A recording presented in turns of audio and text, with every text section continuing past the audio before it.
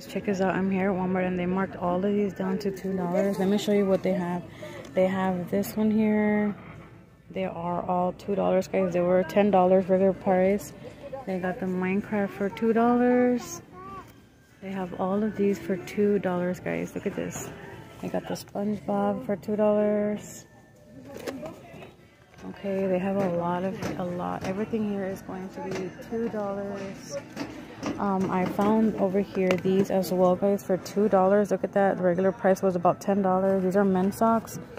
These are the no-show socks. They're really good. I also found some for babies for $2, guys.